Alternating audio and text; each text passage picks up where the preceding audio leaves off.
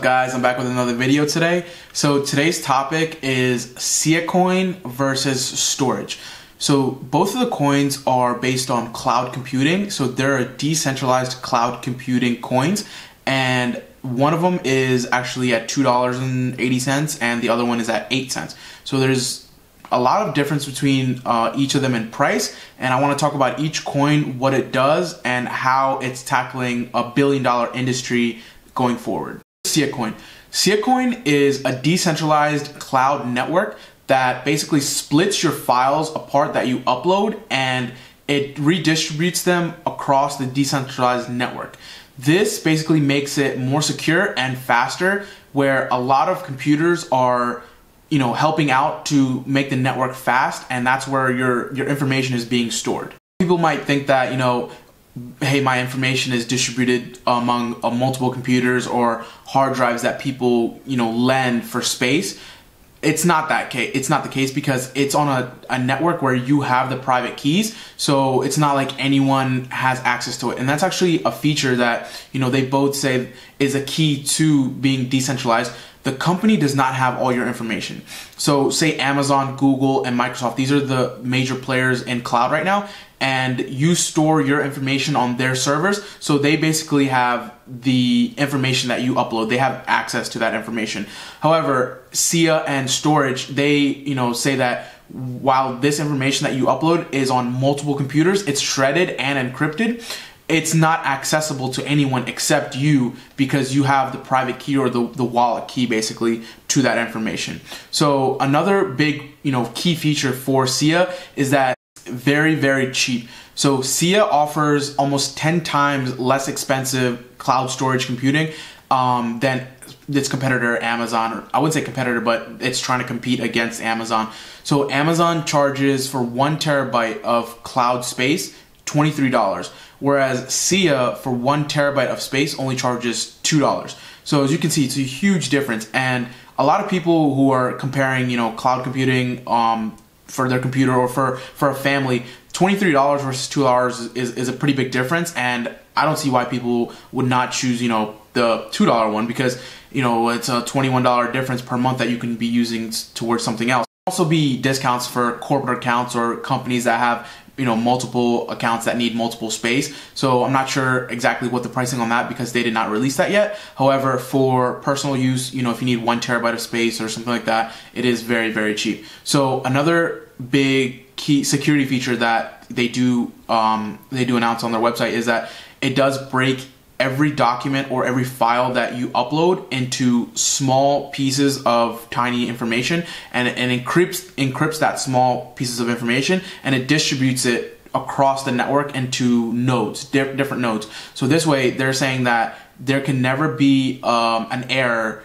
of storage so a corrupt file that is stored to cloud. It's all going to come back together and you kind of repiece itself and give you that document at a blazing fast speed. And another thing is that say you're with Amazon and their servers are down or uh, their their upload speed or download speed is kind of slow at the moment because there's a lot of people. That's not going to happen with SIA or Storj because they say that you know it's since it's multiple people distributed over a network there's never one person that's going to be way too slow. So all the people combined are, is going to make a fast download and upload speed. So that's that way you get your information way faster. So we talked about SIA till now. So let's talk about Storj.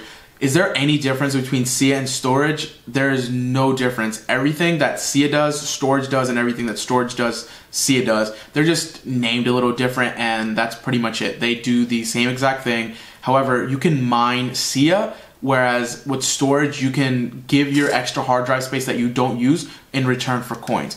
The only difference that I found on both of their websites is, is the price. So we can go ahead and compare prices between SIA, Storj and its competitors right now, which are huge, which are Microsoft, Amazon, and Google. All right, guys. So I'm on the website right now for SIA, and as you can see, they have a cal- calculator for your savings. Two terabyte for SIA storage charges four dollars. Um, Amazon charges 46, Google charges $40, and Microsoft charges 48. So the cheapest one after SIA is Google uh, uh, Cloud, which is 10 times more expensive than SIA. I mean, this this right here, you guys can see that it, it's no brainer where people will choose SIA cloud computing going into the future compared to Amazon, Google, or Microsoft. So if you're looking at SIA's competitor Storj, they charge 0.015 per GB. So let's calculate that for two terabyte. So two terabyte is 2000 GB, and at that it's $30. It's still cheaper than Amazon, Google, or Microsoft. However, it's nowhere close to being in, in the same category as SIA because $4 to $30 is still a, a ways off. So for being a decentralized, you know, company that helps cloud computing, it's still way too expensive.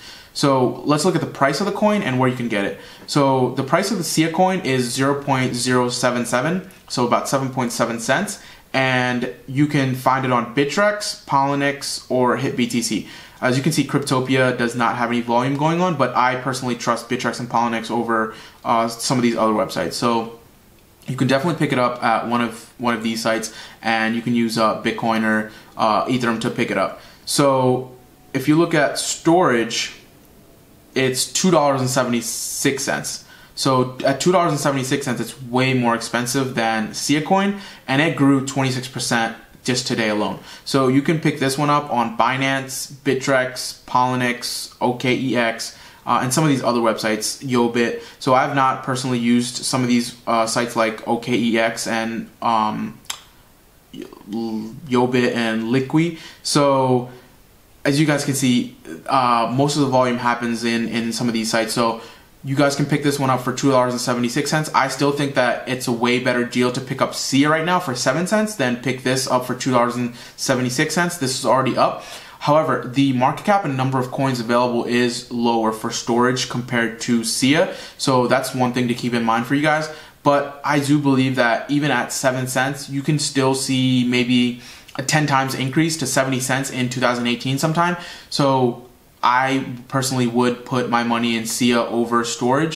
So uh, I hope you guys enjoyed this video. Hope you guys got some information on cloud, what, what's coming in cloud computing based on uh, blockchain. And hope you guys invest in one of these coins. Please like, comment, and subscribe. And if you guys could share the video, I'd really appreciate it so we can grow the community. Thanks guys. Have a good day.